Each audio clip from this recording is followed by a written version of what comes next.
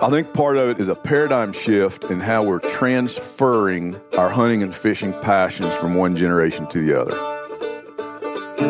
Oh, You never know what's going to happen. The mystery, the mystery rules the place. And so when I look at when I look at where BHA is, I'm one of those people for whom access to wild places changed everything about my life.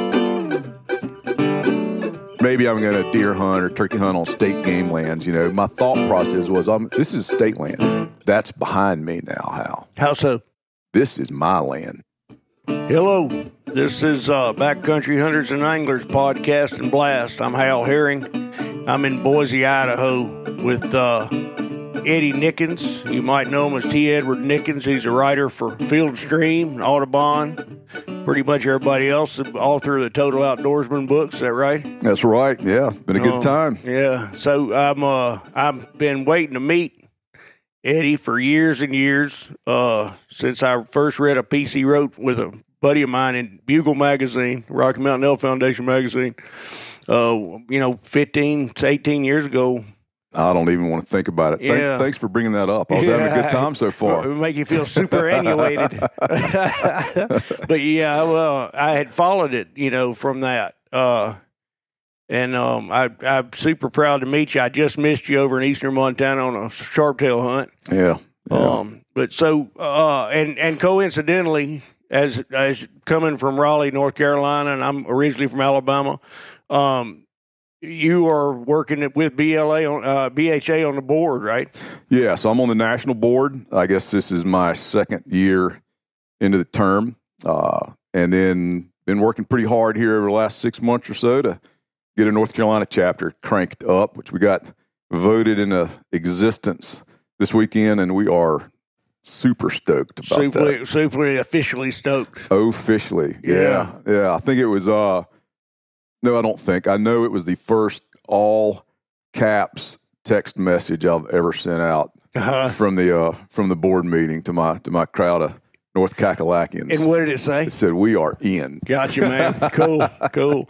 Well, it's um. I mean, we were talking about this earlier. You're you're a natural fit in it, but North Carolina is a natural fit, and you're a natural per- person to be leading that. But it, uh, I mean, I, I've read your stuff in Garden and Gun, um, and it's just uh, it's a celebration of the outdoors in the deepest way. I I I can't say enough about without going too far. Well, well, that's awful. Uh, that's awfully kind. There's yeah. there's days when I wish somebody would go a little far with some of that. But uh, you could use the boost. yeah, I'll give you a shout sometime there, Hal. Yeah, but uh, I I had uh, you know I've I've followed your work and I could see you. I didn't I didn't know you were coming in with BHA and I'm just super glad that's that's worked out.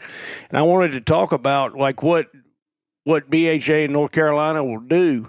Um, who comes to BHA in North Carolina? What do y'all do? Uh, I understand the state because I lived on the Outer Banks some as a young man. There you go. Um, and uh, so I and I so I understand the fit.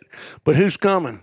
You know what's been interesting to see is the the breadth of the people that have come to these pint nights. You know, and we're tapping into that sort of youthful vigor.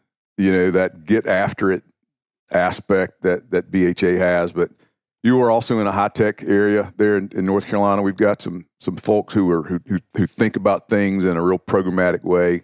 Uh, So I'm I'm glad we've got both of those types in on this. But you're right. I mean, North Carolina. It, I mean, it is a natural fit. I mean, think- Yeah.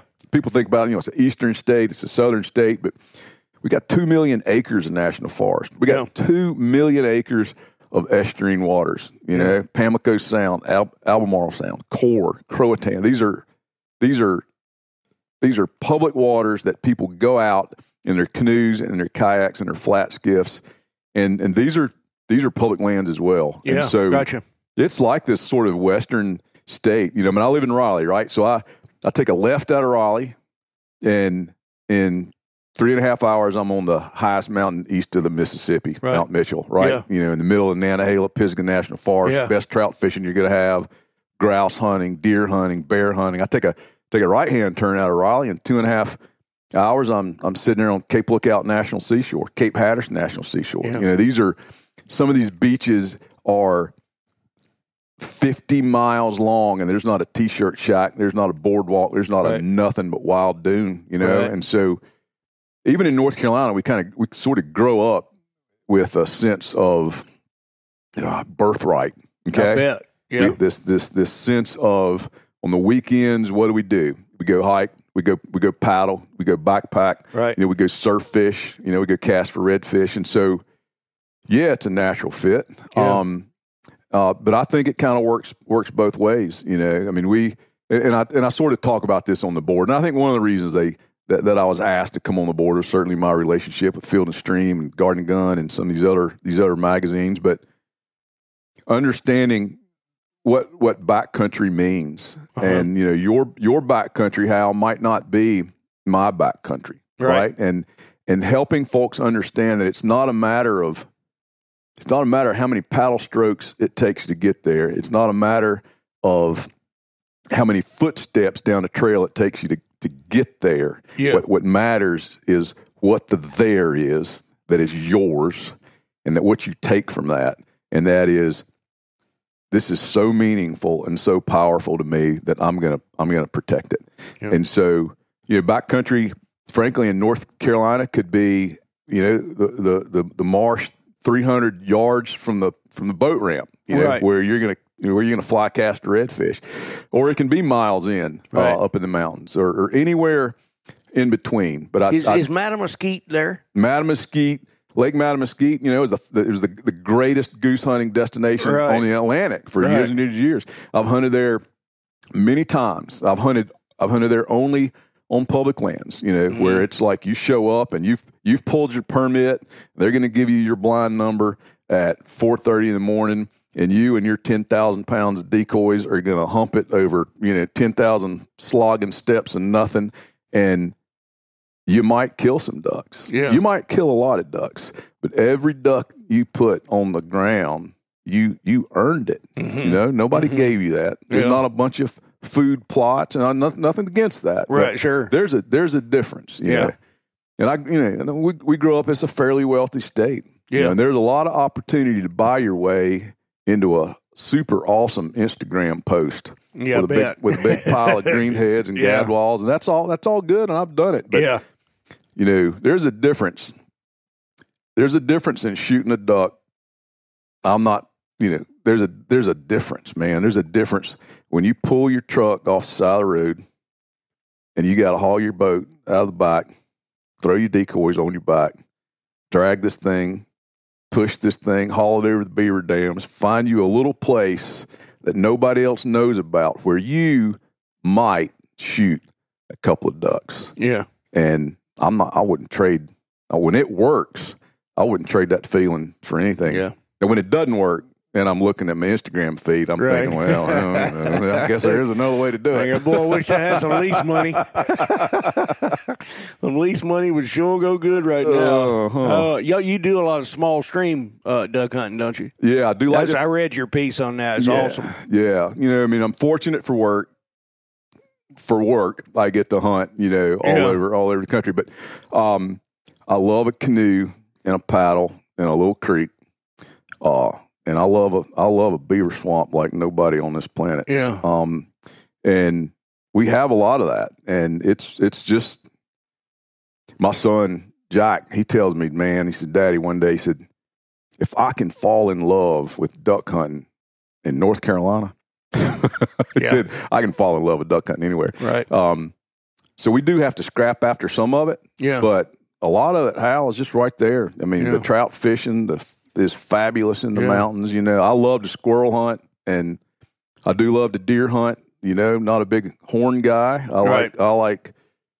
You know, if if if you could cross a, I always say if you could cross a deer with one of those little, I don't even know how to pronounce it, little Dotson dogs, little Yeah. hot dog dogs. You know, right. Right. maximum backstrap, Yeah. right? Yeah, yeah. Make them real long. it long. That's my Yeah. Boone, my Boone and Crockett would be how many inches long and how many inches. So Gotcha. I do love to yeah. deer hunt, but I like to shoot two deer so I can start getting after the other stuff. Uh huh. Yeah. Get the free, get some meat in the freezer. Yeah, Yeah. yeah. I know y'all got uh y'all got I've, the, I've been up in Shining Rock fishing uh, those tiny brook trout on black ants. That's the first place I ever learned to do that. And I had a real small fly rod, and um, it's the, fish are small, but it was it's a trophy fishery in a way. It's a trophy fishery because just brown native as the day Yeah. is long. they buddy. were they were the ones left behind when the when the glaciers quit dragging their fingers across the ground Right. twelve thousand years ago. So Right. there there is something special about those brook trout. Um, without a doubt. Without a doubt. Yeah. without a doubt. But I'm also going to say there's something pretty special about a you know 22 inch brown coming out of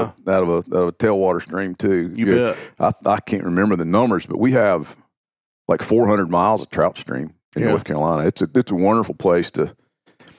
It's a it's just a mashup of everything. Yeah. you know, mountains, coast, Piedmont, and uh. I'm lucky to be there. I'm lucky to live there. I'm lucky to write from there. You know, there was a time when I, in my life, where I thought I was unlucky to write from there Uh-huh. and unlucky to hunt and fish from there. But I've I've come around to it for sure. Yeah. yeah, I can I definitely see why. I lived out there on the banks. I I actually hitchhiked to the banks when I was 17 to catch the fall like blues mm-hmm. and Mhm. took the ferry to Ocracoke yeah, and uh, I ended up hooking up with people that had some four wheel drives, some old country boys that uh, were super friendly. And they rode me out there for every tide, and we had a blast. They were meat fishermen, yeah, and This I would I, I paid for my transport like get by get. I didn't have a place to put the fish, yeah, uh, but we got that. We got that fall blue Yeah. run. yeah, and there's and that's still there on the Outer Banks. You know, the northern Outer Banks have been you know sort of wall to wall McMansioned up, but yeah, the southern Outer Banks where I hang out a fair bit, Cape Lookout, man, I'm telling you, it's. Mean, that's what Eric Durant saw when he came over, and John Smith. You Yeah. know, there's there's places out there, and that's one of the wonderful things. That's one of the one, one of the wonderful things I like about a paddle, because I can be places where I can look up into thousand year old cypress trees, and Yeah. I I know those trees had Carolina parakeets in them. yeah. Right, I know, Right, I know there might have been passenger pigeons in those. in Wow, those, those old what a cool idea oh, that is, man, man. Yeah, Yeah. yeah. So it's all still there. Yeah, and the mighty ocean is still there and running running the show. No Right. matter what, no matter what the the wall to wall mansion people are thinking. That's right. Um, I mean, right. I, I remember there's a uh, I did a story out there in 04, I think it was, and um, the same families, the Ballances especially out there on Hatteras, Yeah, had been there since the very first deeds were recorded. yeah. yeah. I, mean, I, I got a, a small little place in Morehead, Morehead City, Yeah. and I spent a fair bit of time down in that way. You know, right there in the middle of the you know greatest fly fishing for false albacore. You Is know, it? you're going to Yeah, have I at Harker's Island. that. Well, Yeah. man, we'll talk. We'll talk later. yeah, um, but I interviewed uh, the last man who was born on those banks uh, Mhm. before the storms in 1899 moved those communities, and and that's a that's that's a great lesson in that that we look at those outer banks, Hatteras, Cape Lookout, Shackleford Banks is this is wild primeval country, but you know, hundred years ago there were three thousand people living out living out over there. have you been? You been out to Portsmouth? Oh yeah, been Isn't spent spent some spent a, fair bit of time in Portsmouth. Um, spent a fair bit of time looking for the old cemeteries Yeah. on on the banks. I mean, you know, you're you're crossing those those barrier islands and walking through that wonderful maritime forest with the live oaks and the dappled sunlight, and your Yeah. feet your feet start to kind of give. You know, your ankles get kind of squishy, and you realize you look down and you realize I'm in one of these old cemeteries Right. you know, Right. and they're and the headstones are just you know just old rotted pieces of cedar, and maybe there's a little bit there, but you've got that. It's that same feeling, you know, when you walk through a when you walk through a second grove forest that used to be a farm field. You got you still got the corrugations Right, of the, you bet. you know, Yeah. you, you you get that Well, where I grew up, everything was terraced. Exactly, Right? And, yeah. and so you're in the terraces, but you're in the forest. right. Right. And so I think I, I love that feeling of of re, of rewilded. Yep. you know, absolutely. Yeah, yeah. I, will- I often, when I've, I've camped on Portsmouth, um, I wondered how they made it with the bugs. Well, in, in there in that day, where you think the bugs were just as bad as they are now, and then people, how did they do that? Uh, I don't think that the bug. I think we've got different mosquitoes. I think Different. It's different level. I think so, but I, you know, I think there's a different level of of whininess. You know, even we think we're tough, right? Right, we read, right. you know, I mean, you you love history. We read these history books, and we ain't tough Right. on our toughest days. You Right. know, I mean, they used to they used to burn A different level of whininess Yeah. is probably what we're talking about. Yeah, yeah, yeah. They used to burn the cow dung, you know, right, Yeah. right, you know, up upwind, so the, the the the wind would drift and drive those. But Portsmouth, you bring up Portsmouth. Uh, I mean, I've I have paddled in Labrador. I mean, I've been through Ontario, Alaska, all the bad bug places, baby. You, you get on down to Yeah, Portsmouth. Portsmouth Beach. you let you let yeah. that wind lie down, and you're on that Portsmouth salt marsh, and that Yep. tide's gone out, and Yep. you're gonna get what they It's say coming. down there et up. it, it up, and then yeller flies at midday. Yeah. you know. Uh, um, I just remember the wind laying down in there. We were in the woods in Portsmouth, looking around at the settlement, and the wind laid down, and you could hear the whine rise, and it coming was, out of the marsh. Yep, Yeah, and it was a matter of minutes after that before you were stepping and fetching Yeah. and running for the beach. Yeah. Um, But what's so wonderful about that area is however long it was when you were there, it's still there. I mean, Yeah. it's a it's a national seashore, you know, and and it's one of those units of the of federal ownership where there's still all the all the fishing, the Yeah. hunting yeah, is still there. Um, you know, you can go out one of the few places I think in the South. I mean, there's naturally well, there's wild reproducing pheasant populations. yep, Yeah, so you can go out on those outer banks and shoot pheasants. I love going down there and seeing those old boys with their beagle packs and their in their sixteen foot john boats Wow. going over to some little barrier island to run Mhm. those marsh rabbits. Yeah, uh, on, yeah. You know, and and you're literally, you know. You're hearing the sound of the ocean crash, you know, as you're as you're running beagles. It's- Right. It's, super cool. Yeah, there's a juxtaposition for you. Yeah. And you can be fishing, you can catch croaker and, and all that stuff like right after your beagle hunt. oh yeah, Kill them. Yeah, I mean, slaughter 'em. I- Yeah. The, the fishing we did that one trip on Portsmouth um, was on some kind of surge. There was a storm somewhere else. okay, yeah, yeah. And we, we just really killed them. I Yeah. mean, it was a it was flounder. We we run flounder rigs. There were blues. This was before the stripers came back. right, right. Yeah. Um, it, I mean, you never knew what was coming out of there next. Yeah, I mean it's such a rich, and I mean it still is. But I mean now there's all the new threats. You know, Yeah. I mean, we talk about offshore oil drilling, right? That's the big thing, and and one of the one of the visuals that I try to to help people think through is, you know, we're talking about everything sort of beyond the horizon. We're not going to see it. It's okay. It's out.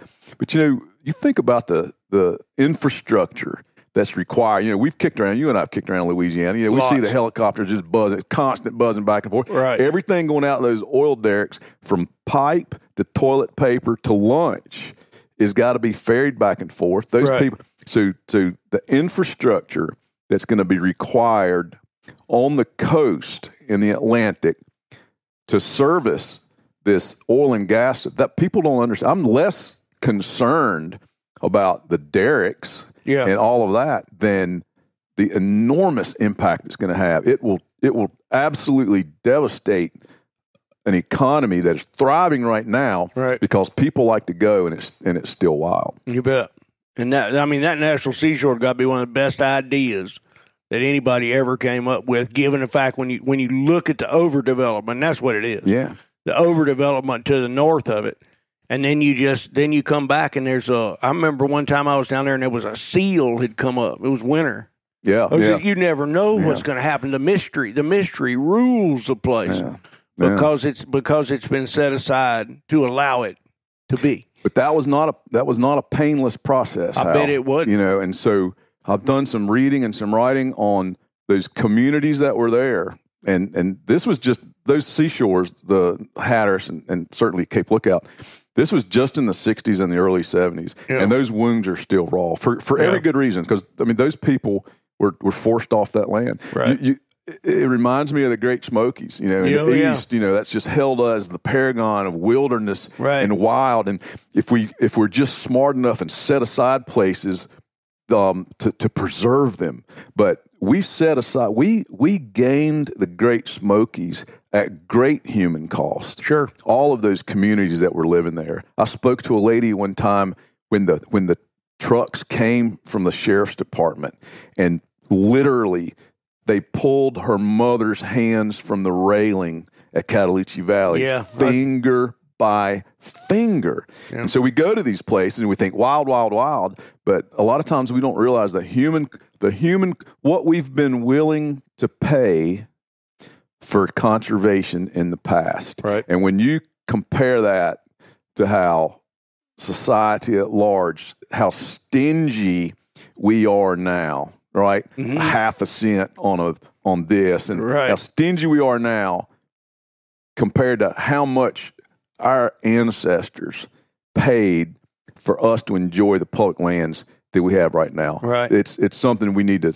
It's it it's shameful. It's Yep. shameful that we're not willing to do Well, it, it's we we are in peril of becoming those beneficiaries who's who's who have no concept of how we got we got we got in scorn like or take for granted without ever understanding the blood right. that was shed to get it and the sweat and the toil and the uh I know and I know uh I can't remember this was told to me in person so it must have been somebody it was it was not from uh it was cattle we were at Catalucci but those daffodils are all still in there right you remember Yes, that you know what they say Oh, about yeah. that right Yeah, that's where the homesteads were. You right know, and they could- say they ain't got rid of us yet when those things bloom in the spring I have not heard that, but Yeah. I can I can hear those old settlers families saying it. You know, Yeah. so by the by their blood and loss, we we we have some of those You know, places. There's so, some of the same um, folks around Big Bend Mm. and um, in Marathon, Texas, and I know I'm not pronouncing that the way they do, but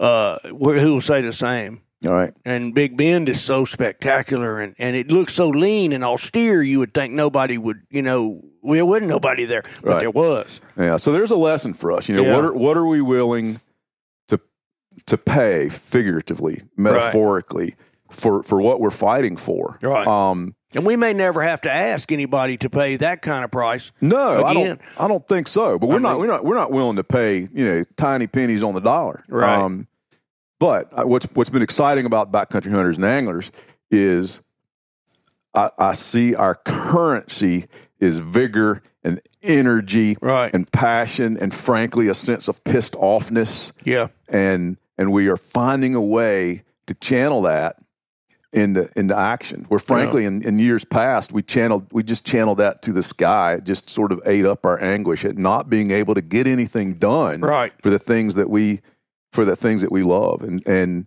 and so BHA for me personally has has been uh, that that that anvil in which my my energy and and it's, it's all sort of been put into a new kind of shape. Right. And uh, so I'm I'm I'm thrilled to be on the national board. I'm super excited about what's happening in North Carolina. What's happening? We were in the board meetings yesterday and today, and to see the map. Not that it's all about the numbers, and but to see that map get colored in, Yep. and not not because we want it to be all colored in for any other reason than to know that, that just that's just a testament to the people who are who are signing on to the message. Yeah. It is. How many people? Um, I don't know how many people have asked me, like, like what, what is the, what is the attraction BHA has for youthful people? And and I asked this question this morning to some other guys from the east. Um, would you do you know what that is? Is it? I mean, the graying of the conservation movement. Audubon has written about it. You, you know all this stuff, and it's a real thing. You Yeah. know, but here we have now a, a rooms filled with like with like uh, athletically inclined or not, but mostly athletically inclined young people, deeply engaged in in. I wouldn't. I wouldn't even call it conservation. I would say deeply engaged in, in, in paying attention Yeah. to what they love. What what's bringing it? I think I think part of it is a is a paradigm shift in how we're transferring our hunting and fishing passions from one generation to the other. Okay, so Okay. so for all of our lives, you know, for the life of our country, for you know, for the life of of of sporting, hunting and fishing, it's been family to you know, parent, uncle, Yeah, brother to, to grandfather. son. Yeah, Yeah. that- so there's been this traditional and for so many of us and, and i'm and we can talk about this because i'm definitely one of these people who i did not enter into this my, my love of hunting and fishing and wilderness through that traditional means you know i didn't i did not have that pathway and so we're what we're we're, we're seeing a younger generation here's here's a great example my hunt club in north carolina so here's maybe thirty of us, Stillwater Hunt Club, Eastern North Carolina. Got four thousand acres, right? Um, kind of a real common thing in that part of the world. And it, traditionally, you know, it's it's parents and their kids and whatnot that they've they've grown up hunting and fishing. But but my son and some of his buddies, uh, no, no, my son Jack and my daughter, they they grew up in this world. Um, but he had some friends, and I've talked to their dads about this. Their their boys wanted to hunt, and these dads could have care less. That the, they had no idea about hunting. The idea of hunting and shooting had never crossed their minds. The fathers, their fathers, Yeah. had never crossed their minds until their boys started begging them, "Daddy, please, let's go, let's go, let's go." And so they joined this club. So now, what what we're seeing is a 180 degree turn.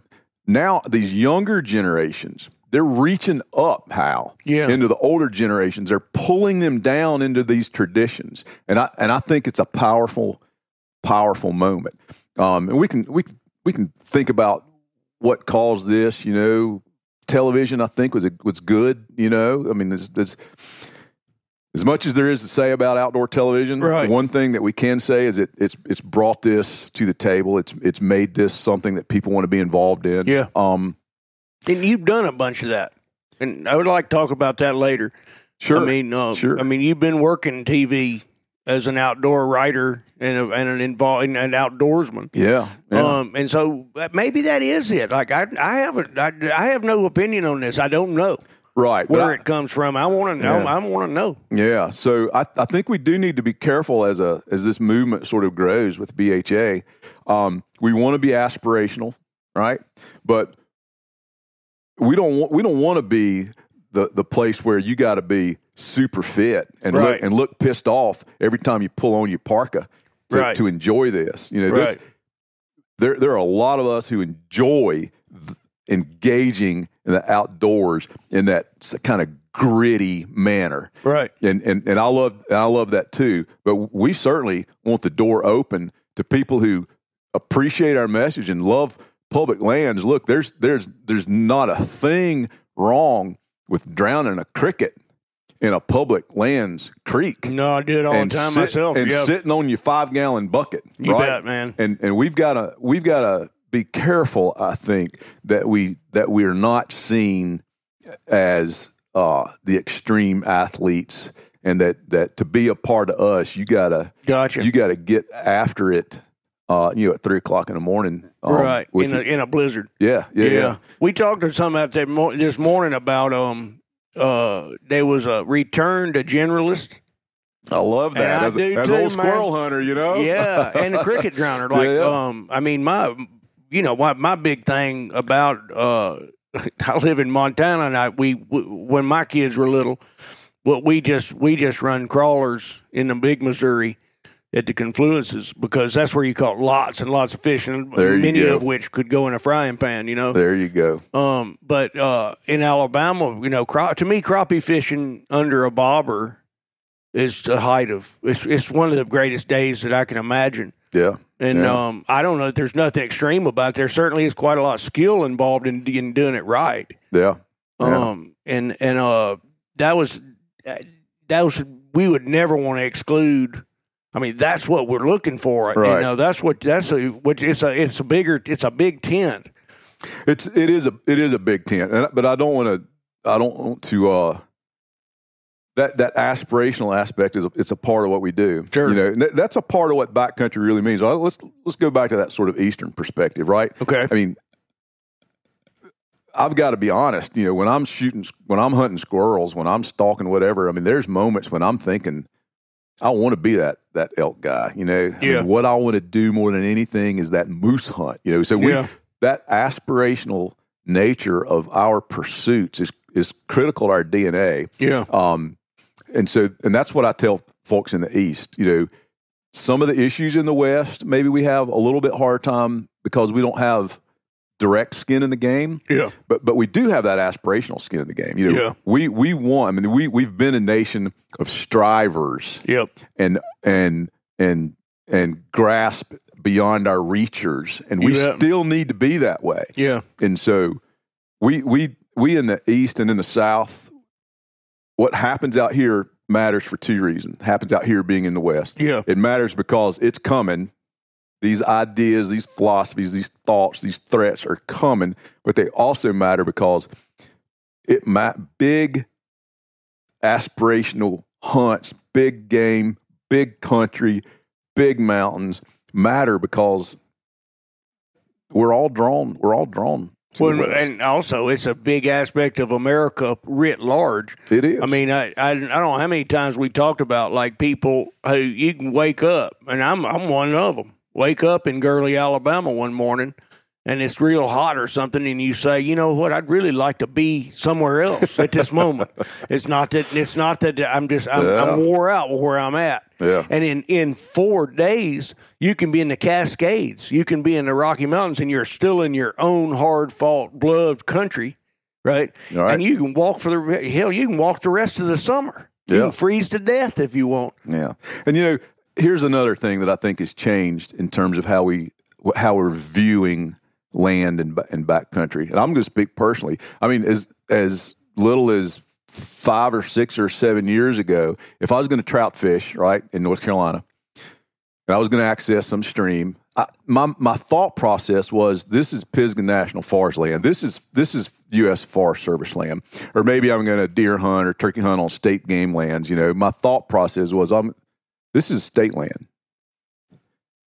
That's behind me now. Hal, How so? this is my land. Yeah. I've never, I truly have never had that kind of perspective. I mean, I Mhm. knew it intuitively, Mhm. but but now when I go to the Forest Service track, this is my land Yep. that I have entrusted the federal government to manage and make available for me Yep. at the highest bid. When I go on state land, that is that is my land. Those are my beaches. They're your beaches Yep. and your beaches and your beaches and your beaches, but those are not some agency's property. Never that, that have they that they are allowing us Yeah. Never have been. that. Never, never have been. But I think that's an important mental shift. It is. And I think that's what's fueling a lot of what we're seeing east, west, north, south is it's not a hashtag line, as you know how. Right. It is this, it is our land. Yep.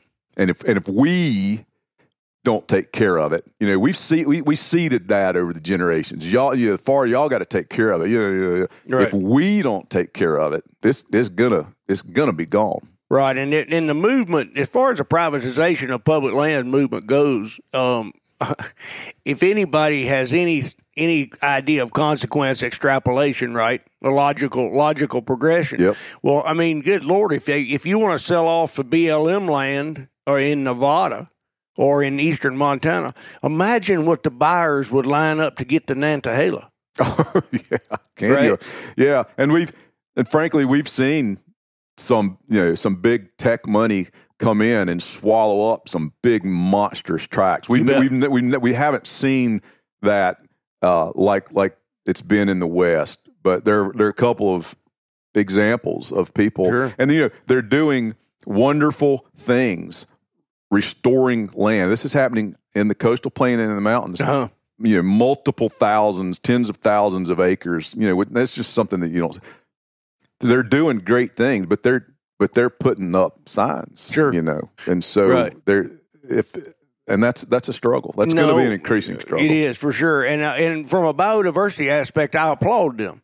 absolutely Um, and and uh, but from a a societal future future, uh, you you have to be concerned because one, I mean, we don't have access to it. It can be as beautiful as you want. It can be as perfectly pristine as you want, but you can't go there. Right. And I spent a lot of time with Jim Posewitz um, when Yep. I was younger and uh, and not much younger, like the last ten years. And uh, Jim used to have say, you know, well, if you could, if you cut off American people from their birthright of their land, the one of the most dangerous things you get is they no longer know what's out there. they don't know what their birthright They don't is. know what it is, and Yeah. and so access had to be a component of most of what Posewitz said, with all its dangers and like you know smashing the six pack and shooting the snapping turtle and all that stuff. There were things you had to endure and to try to guide people. But they had to have access to the birthright. Exactly. Otherwise, over a course of two or three generations, they don't know what it is. They're cut off from it, and they soon will be divested of it. exactly. You, I mean, you don't know Was like a fool in his money. exactly. Right. All right. All right. So I'm, uh, I mean, I'm with you, and I, I just, uh, I, I'm, I'm all for private lands, and I'm all for public lands at the same time. They're this, you know. Yeah. Well, we've got we got enough to fight over. We got Yeah. 640 million acres. Right. Okay. We can we can that's our battleground. Yeah. Right. yeah. And so that's the that's the push pull of this American experiment, It right? is. You know, I mean, we we applaud achievement, and achievement is often sort sort of judged by accumulation, and so. But at the but at the same time, We applaud a lot of contradictory things. yeah, And and yeah. I think that one of the beauties, I think one of the be- the the actual dynamism of the United States of America is the contradictory notions operating kind of like two two turns of a magnet, where you build the electricity, Yep. and yep. um, and it's always beautiful. been that way. Um, so I'm I'm uh, I I think we we're going to be faced that I think the essence of what me and you are talking about right here is that it's our land managed and we trust the federal government to manage it. And we we we then don't trust them very much. We ask we demand very various things for our land and then we come to compromise on what those are.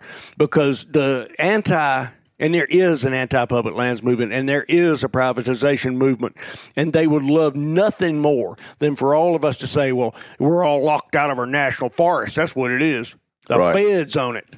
And i hear this from the bundy crowd every time. And my eyes have now glazed over. I can't i can no longer confront them with it because of their their power of absolute certitude Absolutely. all, yeah. often wrong, usually wrong, but never in doubt. right. And you never know, backing down. Never one, backing down. One, You- one inch. you know. Facts mean nothing. Right.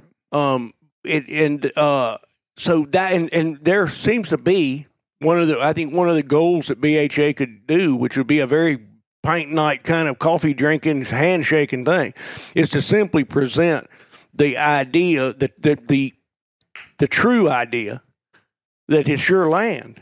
It is your land. And that was and and for someone like me whose entire career has been based on access to these kinds of places, if if I had blinders on, right? Right. And I'll admit that I Oh, I did. know, if, me- I know. if I had blinders on, and I just I remember that moment of riding through the we were on the Pisgah, the Pisgah National Forest, and and seeing the sign, and it was a, a revelation to me that it was the first time that I thought, what's behind that sign is mine, Right. not whose name is on that sign. Yeah. You know, they've signed the lease with me. Right. Right. You bet. It's yeah. an agreement. Yeah. And Yeah. I've got, and so that's what BHA is Right. kind of looking at this. You've, you've signed the lease with the American public and we need to control some more of those terms. Right. That's kind of where we are You bet. with this. And so, I remember going to uh, to uh, Looking Glass up at Brevard, North Carolina, yep, yep. and we would make a mass exodus out of Tuscaloosa and go pack up the climbing gear. And our climbing gear is pretty crude. It was also it was all that Chouinard, early Chouinard climbing gear, and um, it, it was kind of a, a flabbergasting idea that you could just walk up there and spend the night and then go rock climbing on this huge, uh, incredible sandstone, and nobody was coming and messing with you. Yeah. Yeah. and we've got to, you know, we got to be real. You know, you go now, and you know, there's a line to get to the trailhead, to get to Is the there? line, to Yeah. get to the base of the cliff. But but that's that's okay. I mean, that's Yeah, the world. We, right. that's the world That's we live. in. we we're, live we're gonna we're gonna we're gonna celebrate the fact that that people are out there and that that, Yeah. that people care Is about. it. Davidson River down there under there still still good fishing? Davidson's still good rainbow trout fishing. Yeah. Um, it's a it's a lot of fun. You know, it's a it's a place where you're, it's a little rubbing shoulders yeah, uh, going on there. Yeah. Um, it's a big enough stream that that I, I remember the first time that I trout fished outside of North Carolina. This was years and years ago. Uh, with some buddies and I decided to go fish the you know the famous spring creeks of Pennsylvania, right? Mhm. So I And, like the Letort. The Tort and the Yellow Breeches and Yeah, and so I was I'd, I'd gone out in the yellow breeches one day and was casting, and uh heard a little rustling behind me, you know, and this guy comes down and hey, you know, how you doing? When he walks up 40 yards and walks out in the stream, starts casting, you know, that's just that ain't right where we came from. Right, Hal. sure, you, sure. know, you know, we're we're concerned about the wet boot print on the rock that's ruined our our our fishing trip for the Mm-hmm. Yeah, day because we're not first. Uh, and and boy, that was that that sort of shared. I mean, I only I only bring that up and that I'm I'm a little more interested in personally in places where there's no wet wet boot prints on the too. rock. Yeah. Right. Well, I mean the the difference you you gotta you gotta roll with both Yep. um in this world. But yeah, for I mean I mean that's why I live where I do is is the lack of wet boot prints. Yeah. Um, That's why I'm coming to see you this summer. we'll, we'll I'll, tra- it I'll trade you on that in the albacore. Yeah, yeah, well, yeah, for sure. Yeah. But that, I mean, I mean, there's no doubt, and that's the essence of a kind of backcountry experience. You know, is is to to move beyond where the boot prints are, exactly. um, and and be and be savvy and and and self sufficient enough to to to do that well. Yeah. You know, do that efficiently and beautifully. And but the other thing, thinking thinking of boot prints, one of the one of the saddest answers to a question that I ever had in an interview uh, was I was out with a, a biologist who worked with freshwater mussels, right? And so if there's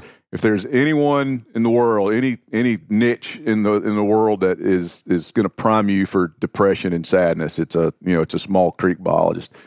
Um, and I asked him what what had changed the most about freshwater creeks in North Carolina, and I was thinking it was going to be water quality. It was going to be this. He looked at me, and said, "There's no more rope swings Mm-hmm. and no more bare children's footprints on the riverbanks." wow, And th- and that was sort of soul crushing to Yeah. hear that. You know, Yeah. he's he's not talking about dissolved oxygen or pollution. yeah, he's right. like, "There's no more, there's no more people coming out to feast." right, on something that we think is as prosaic as a little Piedmont creek, right? Yeah. And that was that was that was an interesting perspective. yeah, that's harsh. Yeah, You know, when when you think of uh, the the estrangement from the natural world that that too many people are are they're, they're caught in it now. We were we were talking earlier before we got this going. Um, it's it's about the the breadth of experience, and in a sense, it's about the breadth of your soul, and in deeply engaged with a larger system and with you inside it, which is which is the engagement with the natural world. And when people are losing that, um, you can say you don't care, you know, or, or you're glad they're not out there. I used to Right. do, uh, most of my fishing in Tuscaloosa was done on game days, football days, yeah, because you, could- knew, yeah, you yeah, could, yeah, you could you, get, you know, go it was empty anywhere you want, yeah. uh, and so, but but the estrangement is is, is there's a, a Tom McGuane, the novelist, once said, you know, we it's no doubt that we live in a declining shrivelization. Shrivelization, And- and, you know, on my desk right now is a little quote by Jim Harrison. I just read his collection, "The Beast That God Forgot to Mhm. Invent." hmm and and it, it says that the the great danger of civilization is that we piss away our lives on nonsense. Right. Right? Yeah. Right? And when you hear that, and when I when I read that, and when I wrote that down as my little as my little mantra, you know, I was gonna Yeah. I was gonna have that be my email signature, but then I thought, well, that's just an example of just freaking nonsense. And so I just put it on my desk, and every day I try to I really do look at that word nonsense and try to think, where is the nonsense in my life and root it out. right. Root it out. You know? You bet. Yeah, and I, I think there's a um. I, I want to move to to talking about because this is this is a good segue, is um into writing, you know, and and how you did that because I guess there's nonsensical writing, but writing is so damn hard that nobody would do it for nothing, you know. I mean, Oh I no, mean, we all do it for nothing but- but, practically. yeah, in a material sense. yeah, yeah. No, that's not Um, true. I've been very, very fortunate to to. I've been very fortunate to write for publications that still value the written expression of what we're Yeah, talking about. for and sure. I, I cannot say magazines like Field and Stream and and Garden and Gun and Audubon and they they value what it what it takes to just express this. And Yeah. so, you know, It's a very old school ethic um, that, uh, especially Field and Stream has on some of your work in particular, where it's very experiential. It's very much a celebrate, a deep celebration of, of, of the topic, whatever it might be, whether it's whether it's squirrel hunting or, or duck shooting or or people. Um, a piece you did in South Alabama, I remember on the deer camp. yeah, yeah. Um, that's just a, that was like that that that thing works on so many levels. I'll flatter you. Uh, it uh, it works on so many levels. It's cultural, it's experiential, it's natural world, it's conservation, um, it's it's uh, it's it's ethics, and it's it's generational. Right with the, with all the, the and uh, with all with the with the fa- fathers, sons, daughters, All right. um, and I mean, a piece like a piece like that is valued still by Field and Stream. There's no doubt. No doubt. And and and hats off to them for sort of continuing to push me to to try to find those those stories. It's it's sort of evolved into a way of looking at a at a story. I I just love to tell stories. Mhm. And they're just they just happen to be told through the lens of of hunting and fishing, right? Uh-huh, but right. but at the heart of it, it's it's got to be a great story, right? I mean, Right. the, a beautiful place is not a story. you Right. know? An awesome experience. The worst thing that can happen to me on a magazine assignment, right, is to get there and have beautiful weather and, and tons of whatever it is uh, Right. for. We fill up the boat and we, you know, Yeah. we eat and we drink and, Yeah. and then that, that's what have I got then? I got nothing to write about. So right. I, I I do, and I think when I think about some of the stories that that that have certainly meant the most to me, and what I think have meant the most to my readers, have been the you you you come away with the story, Right. and it was just it was told around this great communal campfire of shared hunting and fishing experience, but it wasn't a hunting story. It, was, Right. it was a human story, and those are they're hard, they're hard to write, but that's what I do. They're hard to find. But Yeah. that's that's what I enjoy. What people don't see is the you know the 40, 50, 60 phone calls behind every story to to ferret out, you know, is this is this something that that's going to be enduring? Right. You know, I mean, a magazine is investing an enormous amount of resources into this story in, in terms of what they're paying me, what they're Yeah. paying a photographer, what, what you think, what you think a, a full page ad in these magazines costs, and you and you've got an eight page feature. Right. So there's a there's a there's sort of a burden to make that to make that count. There is, And- and you I can't invest- let that. I don't know about you. You can't let that paralyze you. No, you because can't. Because in order to be creative, you got you you've got to be somewhat uh, relaxed in, in your ability to to fulfill that obligation. right, Um, right. And But but you're investing yourself too. I mean, Yeah. a, a major narrative feature for these magazines is, you know, a minimum of two straight weeks out of out of my life right, that that I'm giving to this. And Yeah. uh, but having said all that, man, it's a lot of fun. Yeah. and I'm super Yeah. happy, super happy to be and, here. And and it- is not pissing your way uh, your life away on nonsense. I- And and I, I'll give as an example the thing we were talking about earlier, where that I read that one page essay from Jim Dean in a Field and Stream held 15 years ago, and I have never, I have been changed. I never felt the same way about hardly anything again. And it was simply a recollection of them over Christmas going to the Outer Banks, buying oysters, and being, you know, beset by a cold front. And their their juxtaposition of the of those raw, windy beaches with a with a home, hmm for sure. and. I I have never gotten over it. And and hearing you say that is is what I hunt as a writer. Yeah, That's that's what that's that's what I quest after. yeah, are those those moments when it is sort of transformational for Yeah. the reader. And, Yeah. and I hope I've had a few. Um, I don't know that I've had I've had that many, but I've I've had enough to where thank old Colin Kearns and Dave DeBenedetto and Anthony Licata, they they keep sending me out there. right. You bet. yeah. Yeah, and I so and. Uh, Briefly, we we we don't have time to, to run to, to where I'd like to go with it. But what do you, you started out with this long time ago? I mean, I don't know what years you started. Is it the nineties? as a writer. Yeah. Yeah. So sadly, it was before the 90s. Mm-hmm. Um, I graduated from college in 83. Uh, was at Chapel Hill the same years as Michael Jordan. He'll make he'll make something of himself one of these days. Uh, As you have. yeah, y'all both y'all both got time. yeah, you know, but I got out of college, degree in journalism, degree in English, and wanted to be a writer. And what what does that mean? Yeah. Hal? Where'd know? you go to college? I went to UNC Chapel Yeah. Hill. Yeah. Um, and uh, so I just I just started writing on my own. Yeah, I literally two college degrees. I worked at a I worked at a drugstore, ringing up people on the cash register, writing in longhand uh, behind the cash register. To what end? Were you trying to sell it? Um, I was trying to get it Trying Out. to figure it out. well, trying to get it out of my system, Yeah. trying to figure out. I had learned how to write, you know, in school, Yeah. but but I didn't want to write for newspapers. I, I became infatuated with magazines.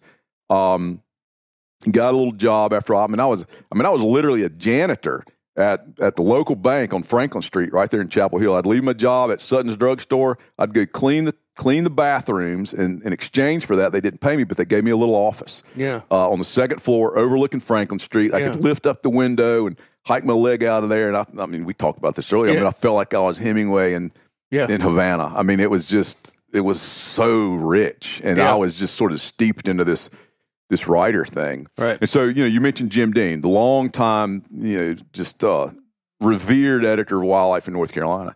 And so one day I just called him up, you know, and said, Hey, I want to be a writer. And I, I just don't have any idea what that means. And this was back in the day when people really, you know, when, when editors had time. I, I just can't, I can't fathom their, their lifestyles now. Right. You know, because they're editors and they're content producers and they're, Yeah. they're, they're everything. These Yeah. guys, you know, Jim was an editor. He, he said, come over. So we were sitting there talking in his office and, uh, and the phone rang and he picked up, he picked up the phone and, and I remember him sort of, you know, yes, ma'am, you know, no, ma'am. He's just, you know, he was just so cordial. And at one point he, he, he said, hold on a second. And he handed the phone over to me with the big, long, black, curly cord. And he said, this phone, this is for you. I'm like, you know, yeah. I'm like, what, 23? Yeah.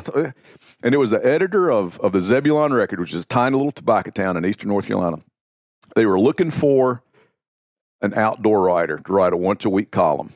And baby, I was in Zebulon at eight o'clock the next morning yeah. to the great, great uh, chagrin and, and pain of all of my editors to come. Uh, I wrote an outdoor column at five cents a word.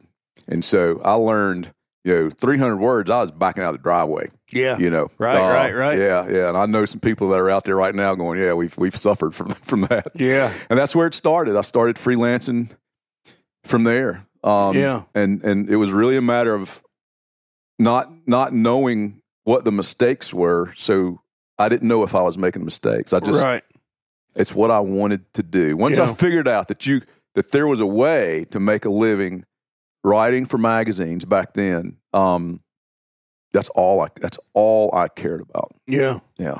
And did, did the Zebulon did that work out pretty good? Yeah, you know, I wrote that column for uh, for about a year, and then I, I had a I had a wonderful marketing uh, idea. Uh, I walked down the down the street to the Chapel Hill newspaper and asked them if they wanted an outdoor column. So they started running the column, and at that point, I was The a same column or different? same same column. So Uh-huh. that meant I was a freaking syndicated Right columnist, on. man. I was at the I was at the top. I was Look at the out- top. look- get out the way. That's right. See, Yeah, mama, yeah. mama, I said I'd be somebody. Right on. But uh, and that and that was awesome. Then I then I, I had a job for about two years at a little city paper type magazine, and started uh, freelancing for Men's Journal. Mhm. Uh, was one of the first, Uh-huh. and uh, and so I left in the late '80s.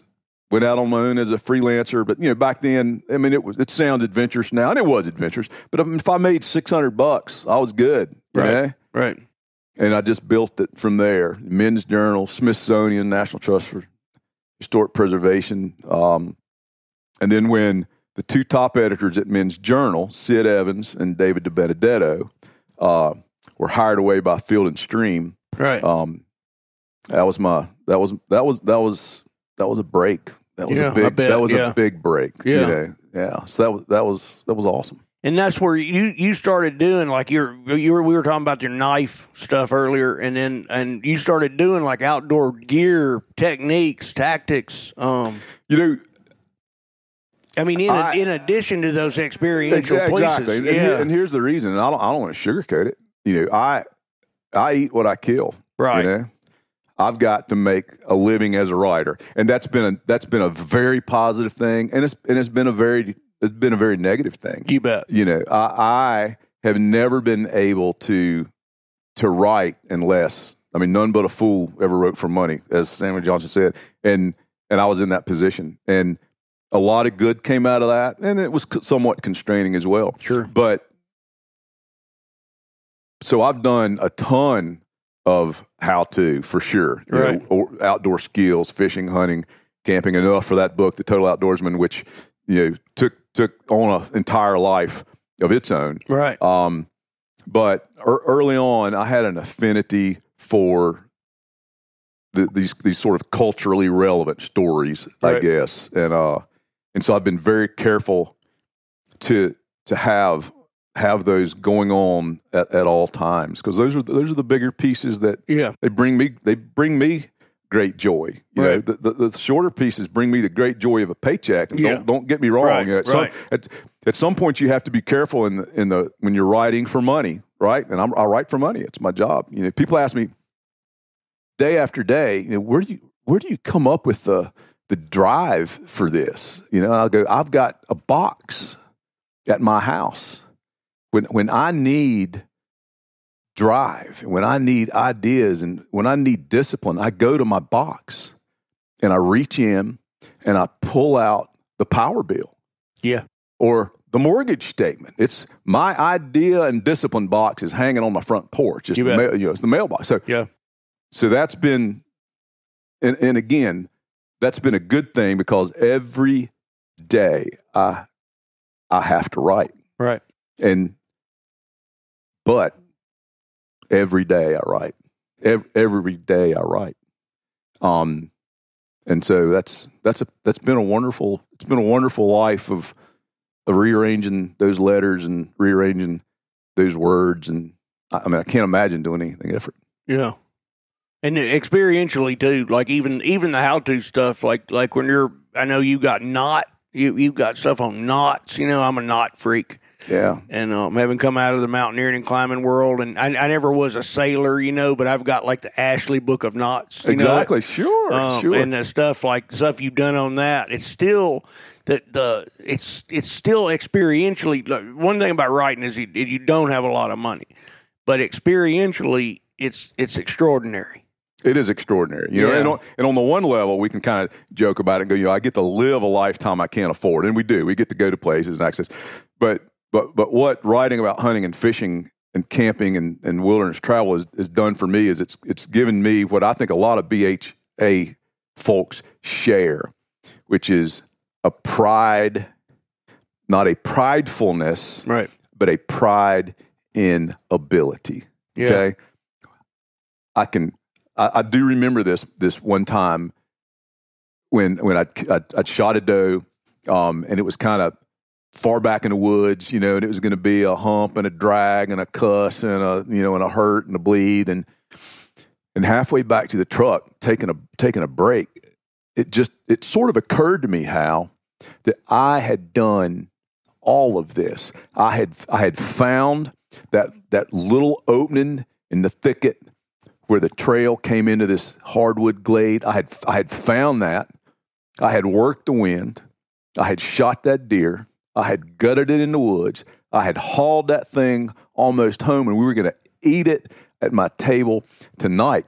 And I put all of that together, and and not a boastfulness, not a pridefulness, but a sense of I I did this. Yep.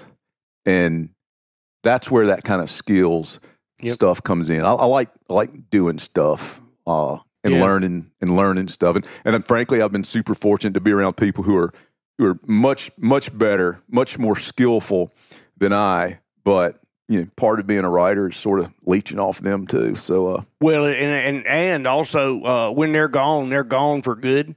and so you're you're actually performing another service there, which is to which is to bring that information to to the page. Well, I, I, I, appreciate the fact that you recognize my life has been one of just nothing but service, But to the greater right, good. right. We're gonna this is this is this is the beginning of something awesome. I'm The, looking uh, forward the, to it. the paychecks are just a lagniappe. Yeah, You know, yeah. You know, Louisiana just a little something extra. I like it. Uh, so, um, but one of the things, well, do you have? I, we, you and I talked about the story, um, about the the hunting accident, really. yeah. Um, that I, I kind of, uh, I, I don't see it as your high watermark, but it's certainly one I remember as your as as one of your more. uh, Just a powerful piece. I won't even say yours. In a sense, you lose own. You've lost ownership of the story. I'm I'm glad you brought that up because Yeah. this this the story that you're talking about is called following our following our father, and boy, that was truly someone else's story. These these two young boys who are now men, they own that story, and it had laid dormant for 30 years. And and, and the backstory of this was. Uh, their their father had been shot in a hunting accident while they were there out there hunting with him by someone on an, on adjacent property. Um, and this had been this had been almost 30, 30 years and so I, I, I found these two brothers and i found the game warden who had investigated the accident and i found uh, the man the older man now who had who had shot this man accidentally and killed him uh, who, who was who was who was charged but didn't serve time and it was an accident and you know just one of those things um, and I was hoping we would all get together, but but the shooter, for reasons I completely understand, didn't want to be involved in. But we all went back to the to the family farm, and we we thought may maybe we could find the tree where their father was sitting, and we and we found we found the tree, yeah. and This is thirty years after. this and and it was I mean, I mean it was just, it was that that moment was one of the few times as a as a writer where I, I realized that I had crafted this that I had put this into into play but as as those as those brothers were weeping by that tree and the and the and the game warden now an old man was sort of off sort of weeping and I was I was I was witnessing this, and I it was the, one of the few times I felt like I didn't even deserve to be there. You know, I didn't Mhm. know how to I didn't know how to write about a moment that was that was not mine. right. Um, but it, it did turn out to be what I think is a was a was a powerful story of of forgiveness and and of journey Yeah. that these two young men, now my contemporaries, uh, yeah. And they and they still hunt and fish with with great passion. Yeah. Um, it it was a it was a powerful moment. Yeah. a powerful moment. and and you rendered it into a powerful document.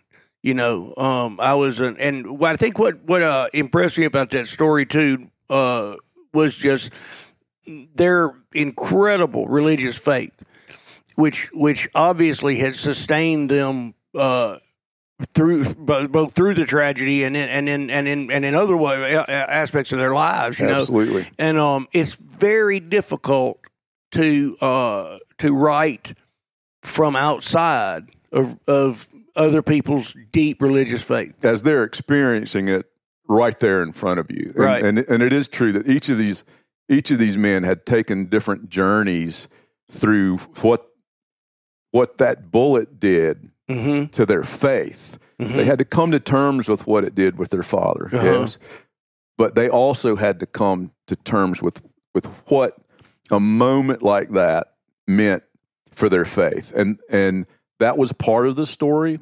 You know, you do have to be careful with your treatment with that. Um and they were they were gracious in in giving giving me the permission to Yeah. write that story Right. the way I. I mean, it, it was it was it was a, an act of of uh, of of strength on their part Yeah. to give me that story. You bet. You know, because because I tell you, the first time they read that story was when that magazine hit the shelves. You know, Yeah. they didn't know what I was going to do with it. So, so that that was that was a true a true blessing. That that was a powerful. I've had a couple of powerful stories that that I do think have have gotten to the heart of something. Yeah. Yeah. Yeah. Do you have any great favorites?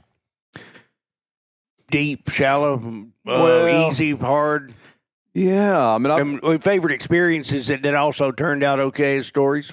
Yeah, I mean, I you know, people always want to know you know about the close calls and and Yeah. and I mean there there there've been a few of those. I you know I think maybe my favorite story, maybe a story uh, the story that's meant the most to me. How's that? There's, there's stories Yeah, that have meant more than, than, than other people. Right. Uh, I remember I was at the Shot Show with Colin Kearns, who was my was my editor at Field and Stream at the time. He's he's editor in chief now, um, and he asked me how I started hunting and fishing. And this is after I've been writing for Field and Stream, you know, for forever. Yeah. And I, and I, when I told him the story, we were sitting. I can't remember the bar we were sitting at in, in uh, at Las Vegas. And when I told him the story of how I came to hunting and fishing, he's he was just sort of blank staring at me, and Mhm. and a mixture of a little bit of awe and wonder, and and some some anger that.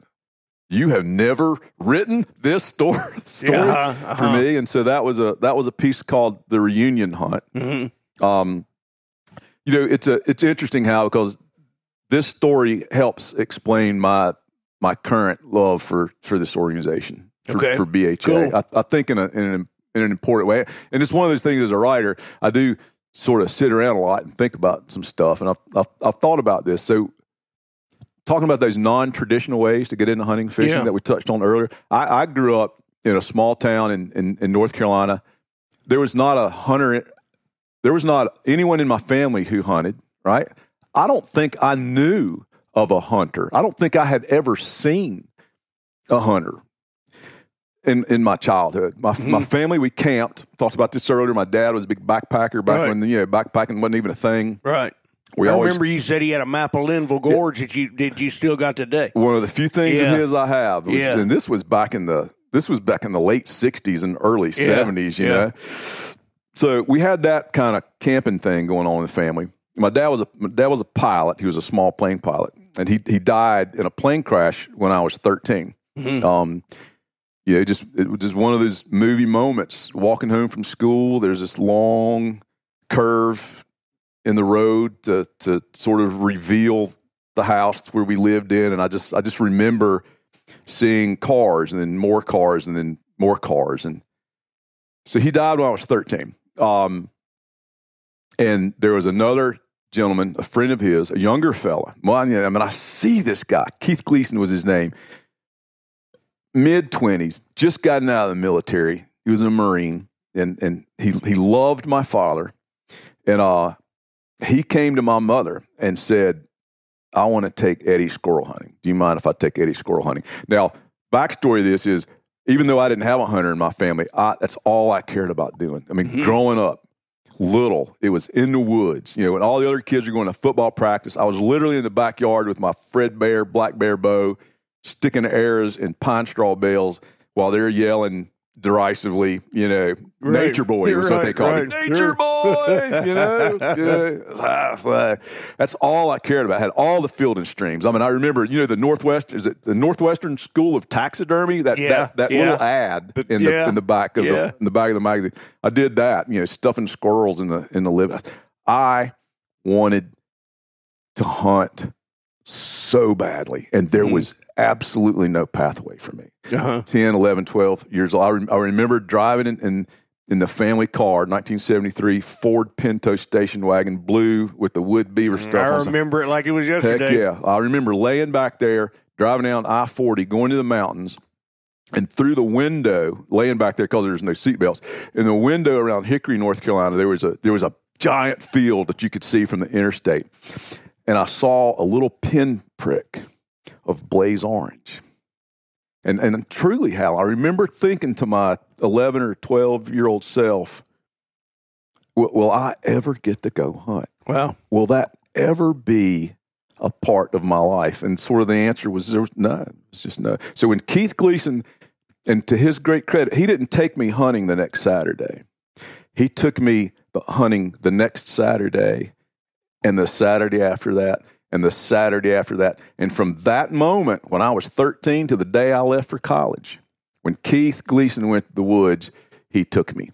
mhm. And it was deer hunting in the Uwharrie National Forest when there were, this was in the early 70s, scientifically proven fact there were three deer and 9,000 rattlesnakes. You know, this was when, you know, yeah. there was no hope, there was no prayer, but we were after it. You know, we were Yeah. after it in squirrel Yeah. hunting. And so it's, and that just opened up the whole world, right? That's, so I, I went to college and I hunted more and I fished more and I camped more. But, you know, we, we're not given, it's a rare thing to have that gift of looking, looking back in your life, how, and, and you put a finger on the trajectory of who you are and the trail that you trod and it and at Keith Gleason at that squirrel hunt behind the Wise Potato Chip Factory in Winston-Salem, North Carolina, my life took a right-hand turn and it's that trajectory has never has never stopped. Yeah. And so but but the but the sad thing or, or the or the the embarrassing thing was when I went off to college after I left to college, I never hunted with Keith again. You know, Uh-huh. fall into I got this crap. You know, we Sure. just. So that was the story that Colin and I cooked up in Las Vegas, Uh-huh. right? The reunion hunt. You go back with Keith, you and Keith, and here's the cool thing. And I remember Colin saying this: you hunt, you hunt anywhere you want. Y'all want to hunt big deer in Saskatchewan. You want to elk hunt.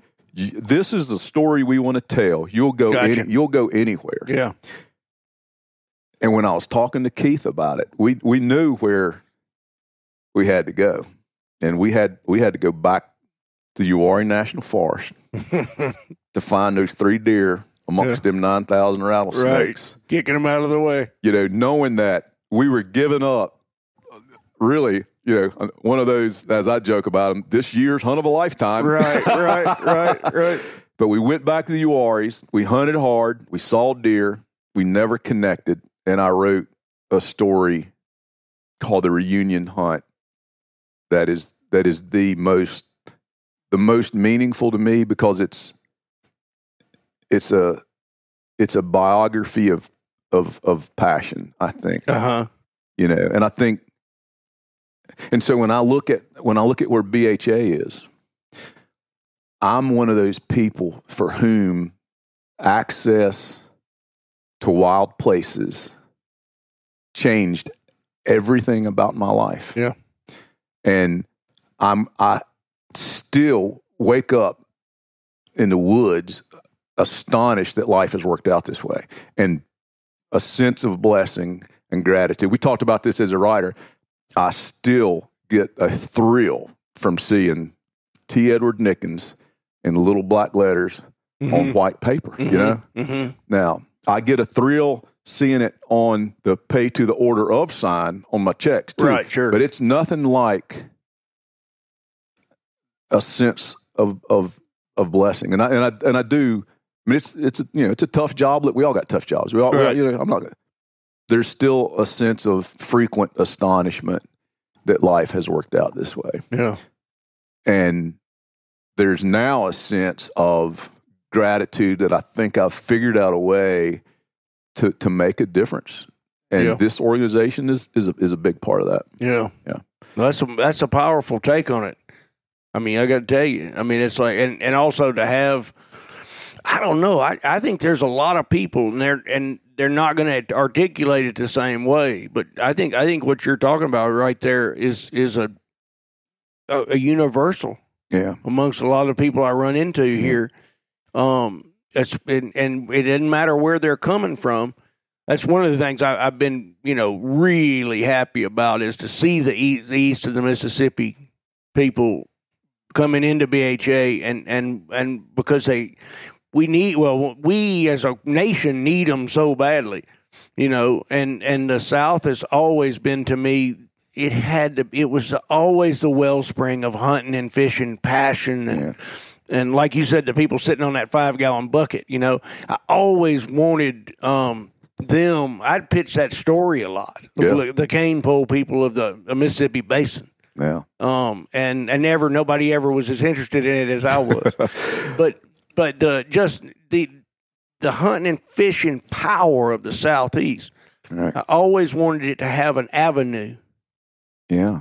And so I'm going to turn that around because I think BHA needs those people. There ain't no doubt. You know, we we need to engage everyone who loves public land. And Right. everyone and, and there's and it and it is true in the South, particularly where where land and landscape is history, Yeah. you know, and where our engagement with with land in, informs us in, in so many ways. Um, it it is it is a natural fit, but BHA needs us. Well, they need to tap into that, and that that's why I bring up this paddle strokes hmm and and foot and footpaths. Yeah. It doesn't matter how far off the road you have to get to get to your backcountry. Right. What matters is what happens as soon as you're there to your to your soul. Yeah. And what matters is that that no longer remains enough. That's the key. It no longer remains enough for you to respond to backcountry by being there. You have to do something about it. And that's what we're tapping into. You asked Yeah. earlier what it is. It's Yeah. that it's no longer enough to cap that ridge and see that elk down there in range. It's no longer enough for some of us you know, to have those ducks come in and it's perfect. What's Right. It's, what's a we we have to. It's trite to say this. Oh, we got to give back. Right. Um, Well, the quid pro quo kept coming up in my mind when we were talking about this, though. In in in, in what re- in what terms? in return for this um this soulful depth that you you experience in whatever your backcountry is, um, you do have. I, I'm afraid that you do have to give something back. Um, I mean, and and, and here's I'll throw you another cliche: ain't Yeah. nothing come for free. Nothing comes Right. for free. But we're also at a moment in history where we've been able to skate. You know, Yes. Oh, 40s, 50s, 60s. We didn't have to give anything back. No, but we to, skated to, on- to, to conserve the opportunity in the future. It was just going to be there. Yeah. Now, now we know. Now Yeah, we know. If we don't give it back, we're not ever going to get it back. Right. And that's that's the difference. And and and so it's you know, like I'm a little. You were both. You know, we're a little a little long in the tooth here, Yeah. and it's it's taken us all of these years to come to these conclusions. Yeah. How how awesome is it to walk into that room down there with the, in the in the rendezvous and see these college kids, these 25, these 28, these 35 years old, and they get it. Get it right. You know, and Right. hopefully, writer, hopefully, folks like you and I, maybe we go to bed at night with a little smile on our face, thinking we had a little piece to, of, of the role to, to play in that. Right. But Of simply telling the story that's there. You know. I tell people, I can't tell a story, especially when I'm profiling someone. You know, I can't tell a story that's not there. Right. So that's that's sort of the beautiful thing about about what I do is is I've got to find this the story that's already there. Right. I mean, I, I work the knobs. You know, I Sure. t- turn up the volume on this and turn Yeah, the volume right, down right. on that. But Well, there's a beautiful saying in the, um in that uh I think it's Scorsese's bi- uh, biopic of Bob Dylan. Um, it's called No Direction Home. okay, You ever seen it? Mm-mm. There's a thing where the poet Allen Ginsberg, who's kind of a silly guy, but he's he's like a, a great poet. Um, he's like a holy clown, you know.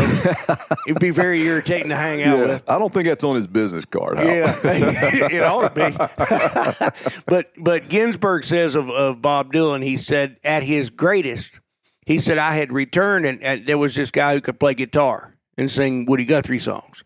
He said, and then I came back, and he was a column of air, channeling something that had always been there always been from there. somewhere else. Yeah, yeah. Dig that, huh? We hope. We hope in our line of work, you know, that that our toil takes us To some edge of that, to you some. know. uh, yeah, yeah. I was trying to figure out, but you're right. To some, to edge of that fire. If Yeah. you if you could immerse in that fire, it'd be great. It'd be but great. if you could just Yeah, touch the edge of the embers, right. I'm good. You know.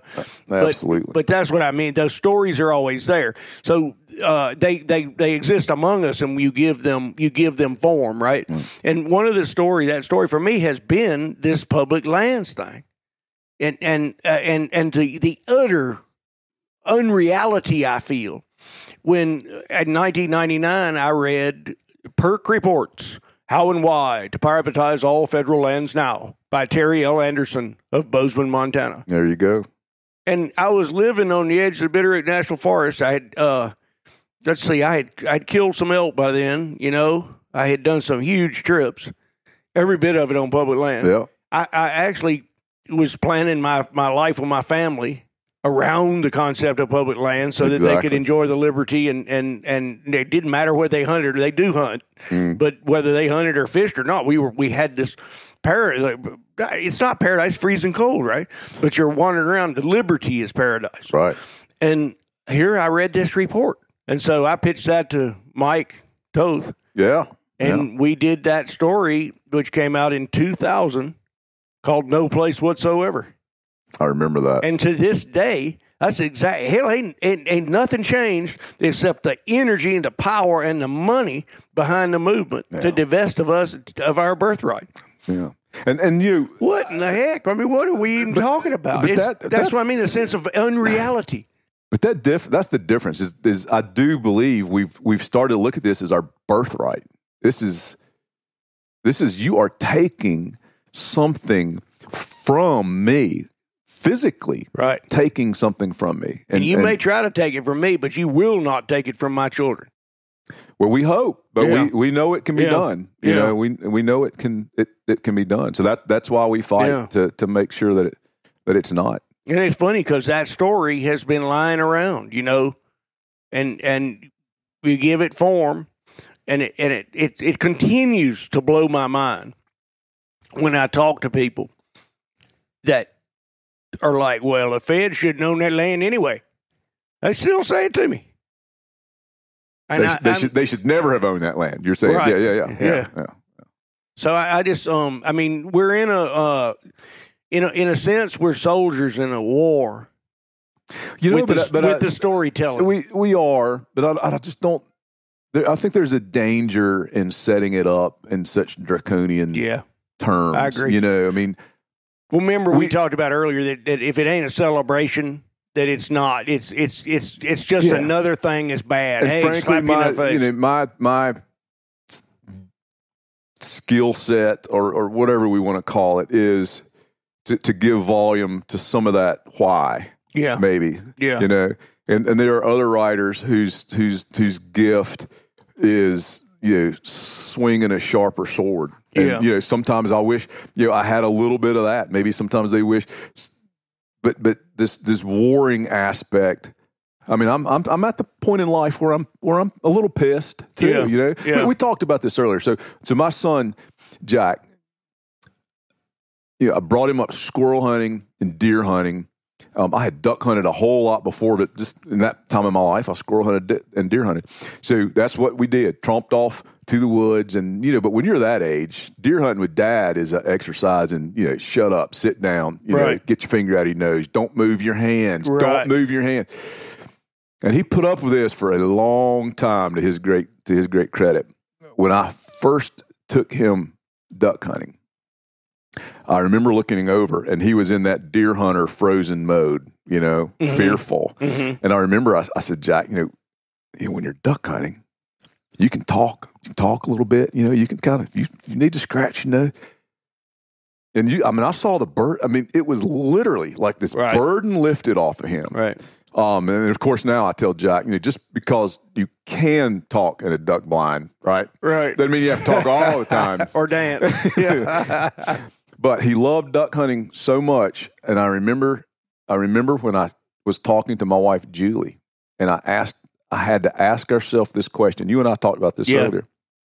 Am I doing a disservice to my child to help him fall in love and engender this relationship with a passion that could break his heart one day? Duck, Right. duck numbers going down, access dwindling away. Am I setting up my child for a lifetime of disappointment and diminishment? right.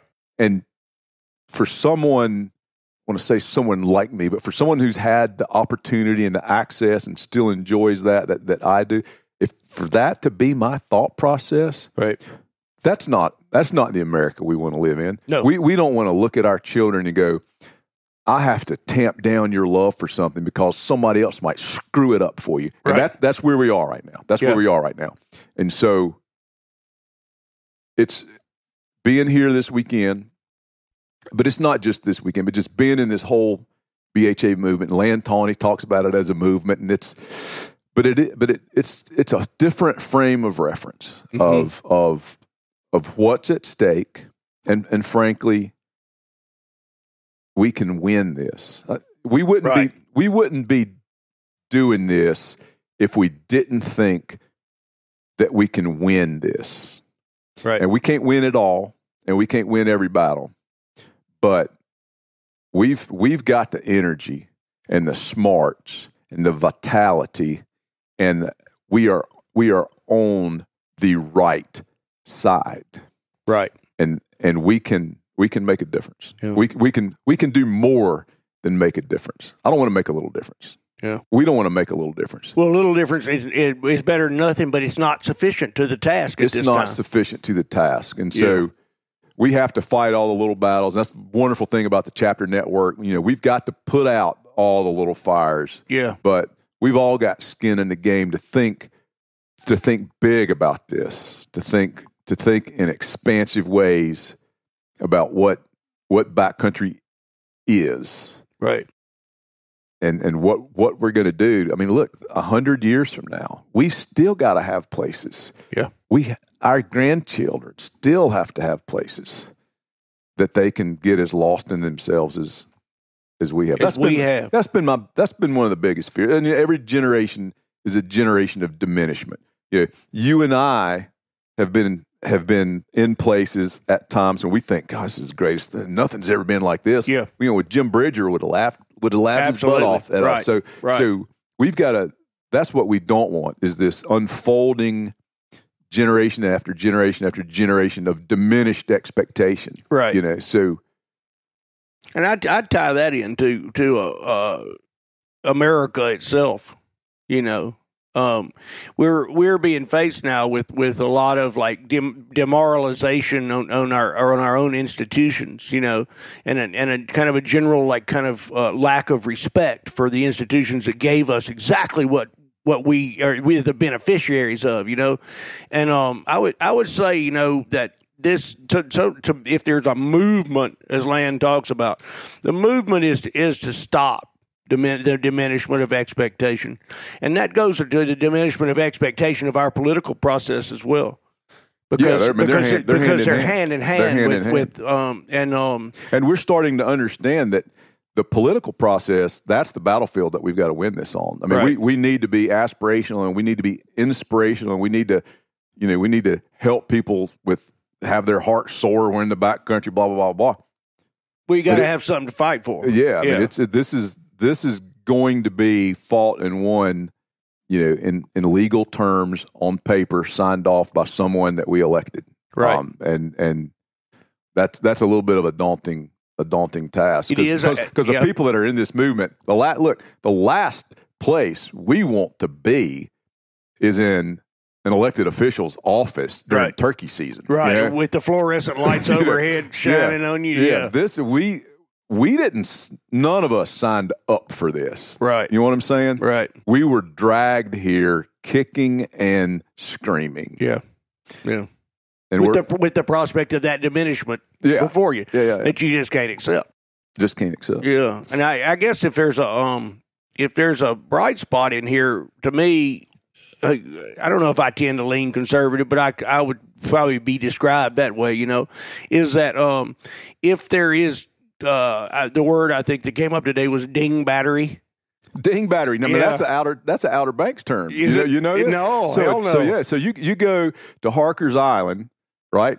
And a dingbatter, an Ocracoke, a dingbatter is someone who's from off. They don't even say from off the island. Like the island is their whole world. He's, or he's from off. He's a dingbatter. So Right a dingbatter on. is someone who is outside the tradition, Yeah, right? yeah, that's awesome, Yeah, man. yeah. so if cool. there's if there's ding battery at, at the federal level, then you operate at the state level, and you and you create you create great you know uh, coalitions at the, that that operate. I'm I'm I'm ready for local. I'm Yeah. ready for local Mm. power, and that where where with good people, Right. The anti ding battery Yeah. um, prevails. You know, Yeah. And, Um, we're, and we're seeing that, you know, with, with other policies, you know, where, where the federal government is just throwing in the towel, right. you know, and the states are stepping up and going, you're not the only entity that Right. can do the right thing. and, they have not yet. They they have been real utterly remiss in most of their responsibilities that they would love to claim under the Tenth Amendment. You know, and they just didn't do it. and right. in their abdication, the Fed, the federal government has done it. And now we, I think, I think in our more recent life, um, we've seen not. I don't mean just right now. I mean the last 15, 20 years. Right, right. We've seen a sort of you know a throwing in the towel at the federal level, and so we're we're now forced to be at the state level who we said we wanted to be anyway.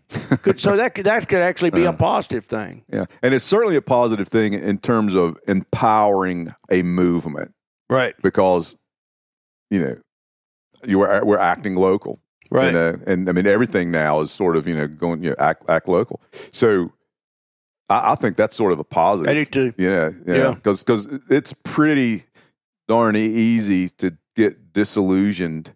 You know, you got to fight. You got to fight the urge to throw the towel in a lot in this in this line of work, or in, or in this line of you know the sort of the conservation industry. Right. So so finding the battles we can win is always a pretty good strategy. Can be your whole strategy. Right. You got to play the long game and the big game.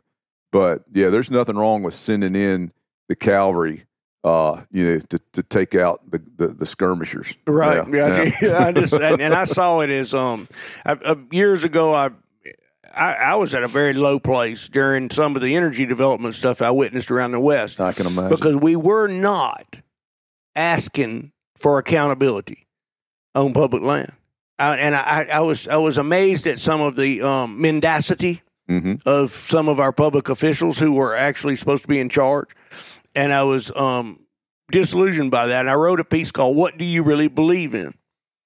And it seemed to me that we had talked the talk about loving hunting and fishing and mule deer and, and uh, you know, pronghorn migrations and, and all this stuff. And yet nobody was actually objecting to these obvious assaults Assaults. And that's all, and that's that's what they were. Yeah, and yeah. um and that that went from New Mexico, uh, you know, so San Juan Basin clear through through uh, Powder River, and then and then on into Canada, and uh, so the response to that was extraordinarily disappointing. It it seemed to me that we did not believe in what we what we claimed to be so passionate about, and you now all I had to I, I won't say all I had to wait right. a few years and then you walk into that room with all those young people when i walked into denver at bha hmm and they they, they were they were answering that question All right, and they were they were stepping into the breach. They were stepping that, into the that's breach. what we had. We had we Yep. had a. I think we did have, frankly, a, a bit of a generational breach. I mean, we you know we revere Roosevelt, yep right? But he he fought like a freaking tiger yep about these issues his entire life. And, that, and that's where it comes back to that complacency. And I, you know, like I'm, I'm pointing the finger at myself. Yeah. I, I think we did have. I'm hopeful. I'm, I am so hopeful that we are emerging out of a generation or two or three of complacency right within the hunting and fishing and, and camping and sort of wilderness worlds. I mean, we, we had giants. Don't don't get me wrong. We we stand on the shoulders of We- absolute giants. But and we stand there in in, in, utter luxury that's Utter that was the complacency Right, is we but- had so many successes but but instead of standing on the shoulders of these giants now, we have it's wonderful to see an an army, it's infantry, you know? a new It's giant of, of of of of new people who who are who understand this. And Yeah. so to me that's that's the difference. We've got this this long-term historical philosophical underpinning, you know, Leopold blah blah blah blah. Those those are the those are the giants. What they didn't have back then, I don't think was the foot soldiers that we're seeing yep at rendezvous, at pint nights, at hunt a hike. That's that's different. yeah It's exciting.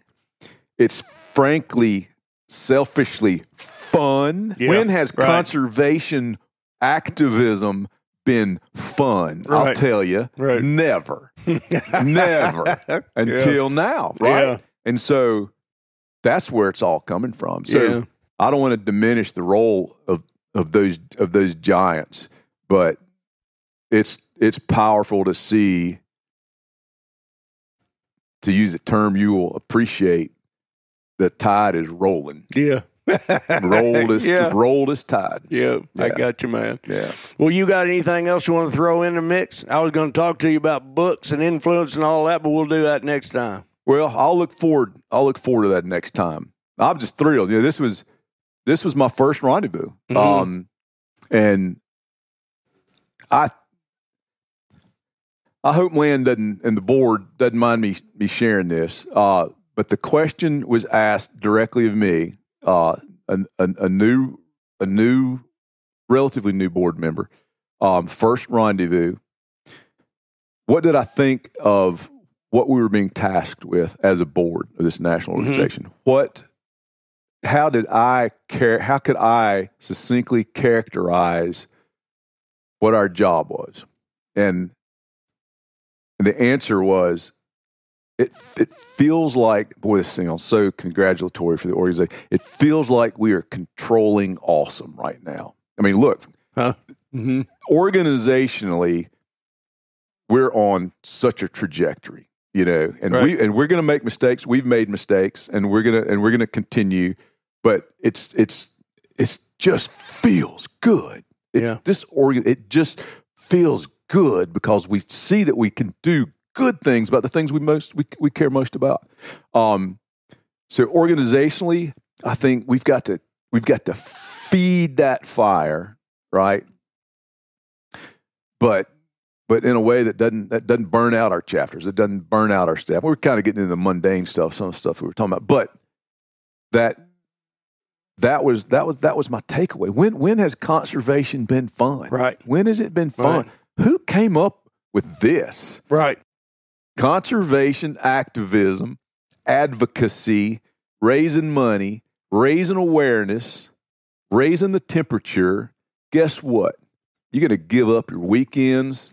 You're going to give up your kids' ball games Mm-hmm. because this is fun. Right. Who, who, as we like to say down south, who would have thunk it? Who'd have thunk it, man? yeah. well, man, I really appreciate it, Eddie. I'm, I've had a good time with this. I'm Yeah. gonna- What What's fun is to be neighbors on the page for so long, Hal. You know, Yeah. and we knew we were we knew we were blood kin Yeah, we had to have something in common for a long time. yeah, man. so this is this has been awesome. I'm, yeah. I'm looking forward to I'm looking forward to you soiling your pants when that first false albacore rips you out. I also need to come down here and do some hog hunting in pants soiling. Yeah, yeah, yeah. You gotta you definitely gotta bring a the fresh bring the fresh undies Yeah, man. Well, hell, I'll, I'll see you here, man. Let's go get a beer. Hey, this is Hal Herring, Backcountry Hunters and Anglers Podcast and Blast, and I'm signing off. I just want to thank everybody for coming here and listening. We got a huge listenership right now, and I'm super proud of that. I'm, I've uh, I've had a blast with this, and I hope I hope people listening to it are having a good time with it too. Go over to Backcountry Hunters and Anglers website, which is backcountryhunters.org um, and look for the backlog. We got 30 other podcasts out there, and I'm out looking for more right now. Talk soon.